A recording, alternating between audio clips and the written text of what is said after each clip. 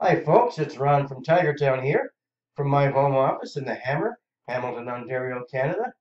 I'm alive, I'm alert, and I feel great. Apparently, it is search for things to do to improve your sleep when you can't sleep. In general, the goal is, and I have in mind, is to keep your body in sync with your body's natural sleep-wake cycle. You go to sleep and get up at the same time every day.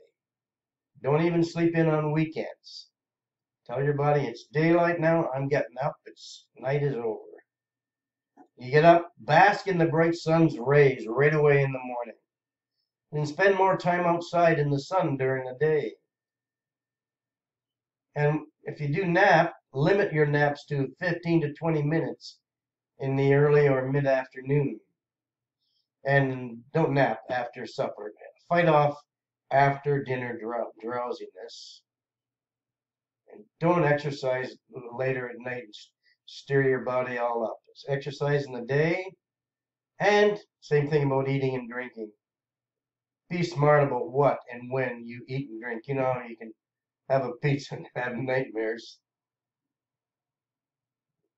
And wind down. Clear your head before going to bed. Say a half an hour or an hour before. Read a book. Keep your bed and keep your bedroom dark and cool and quiet. That'll help you sleep. I'm just I'm curious. Uh, people that are watching this, do you have? Does anybody there have chronic insomnia? And if so, maybe you'd like to hear a story about a lady who quickly solved her 20-year insomnia problem.